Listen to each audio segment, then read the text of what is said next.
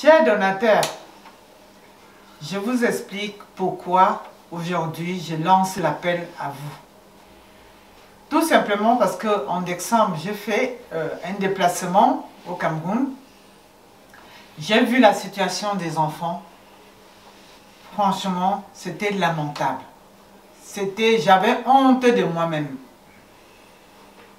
J'avais pitié de moi-même de voir les enfants dans l'état déplorable, dans un état vraiment triste, de tristesse.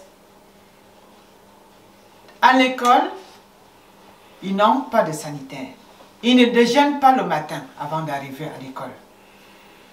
Et pour rentrer à pied à la maison. Pourquoi, pourquoi toute cette souffrance? Je vous demande de me soutenir parce que ces enfants ont besoin de vous. Si vous pouvez vous déplacer avec moi en Afrique, au Cameroun, pour voir cette situation, vous-même vous serez choqués.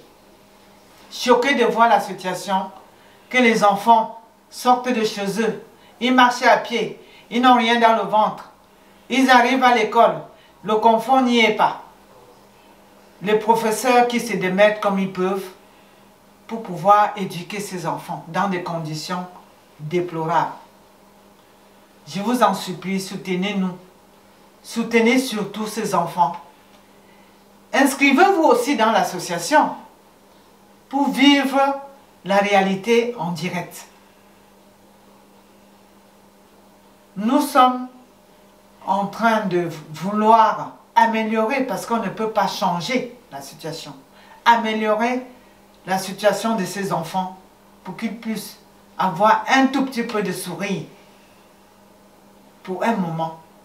Je compte sur vous pour que l'association aille de l'avant. Pour que ces enfants étudient dans la joie et que même les professeurs soient fiers de voir ces enfants heureux.